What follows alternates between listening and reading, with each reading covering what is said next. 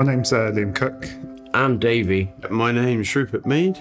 I've been studying functional skills, maths, and English. I'm doing functional skills ICT at Bude Adult Education. I'm from Truro and I currently work as a careers advisor. My organisation I'm with now require me to have level two in both maths and English. All my previous work has been uh, physical. Every job I'm looking at now requires some sort of Microsoft Office application about which I knew nothing. My life is set by appointments. I've got epilepsy and I need to email my doctors.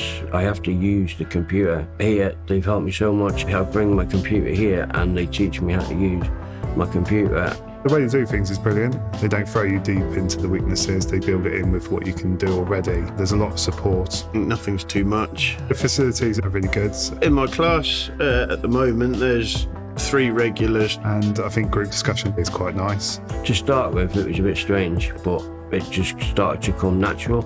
This course has essentially set me up with Microsoft Office software. When I put in a job application, I say the courses I've done and I feel a lot more confident.